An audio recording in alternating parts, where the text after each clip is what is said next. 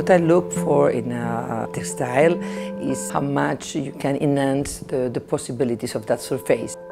I think um, my relation with Kvadrat uh, grew up not only through the research on the fabric, but through the possibilities of expression that they, they give to their designers.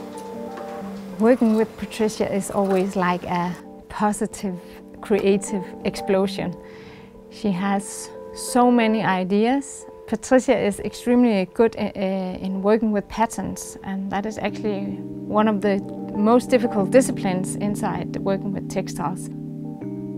She's able to make patterns which is just uh, in, in between being a, a structure and a real pattern, which is extremely interesting and easy to apply on, on furniture. The collection um, uh, Relate and Reflect uh, is, um, is interesting because uh, they are two different materials, but at the same time the, the effect is identical.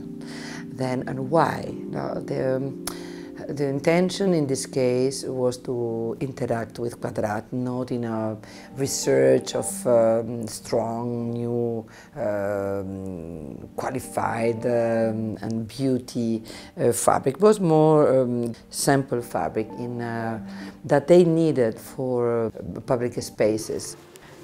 Reflect is uh, made by uh, recycled polyester. The fabric is constructed in that way that we are working with two colors inside each colorway.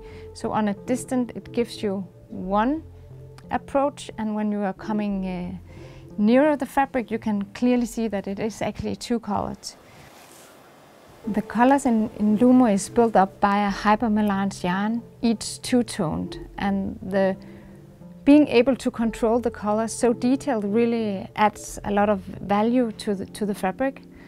On a distance it looks like a shimmery denim uh, fabric and when you are coming closer you clearly see the twill binding, the tiny diagonal lines uh, and giving the, the textile a very precise look. Then I think color has a power, incredible power to change uh, elements of uh, any kind of project.